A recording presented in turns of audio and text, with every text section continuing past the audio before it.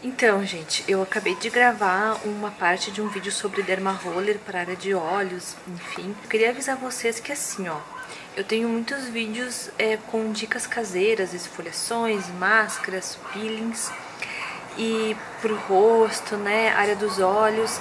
Só que eu já gravei esses vídeos e eu sempre gravo a parte ali, a mistura, a aplicação, gravo separado para depois juntar tudo em um vídeo só. Só que a parte é, de fazer a mistura, de mostrar a aplicação, eu não gravei nenhuma ainda, então eu tenho muitos vídeos paradinhos. Por isso que diminuiu um pouquinho as postagens de dica caseira, mas diminuiu porque a minha pele estava em processo de recuperação do peeling, né?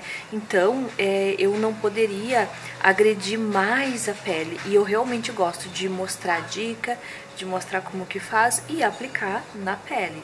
Não gosto de fazer um vídeo assim sem mostrar, acho que não fica legal. Então por isso eu guardei esses vídeos que já estão gravados, ou a parte que já estão gravados, e na medida que minha pele começar a voltar ao normal, agora ela já tá bem melhor. Aqui eu tô com óleo de rícino e óleo de semente de uva, tô fora de foco agora que eu vi ali. Mas era só pra deixar assim avisado que receitinhas caseiras jamais faltarão aqui. Apenas eu dei uma pausa, mas eu tenho muito conteúdo pra postar. Um beijo e até o próximo vídeo.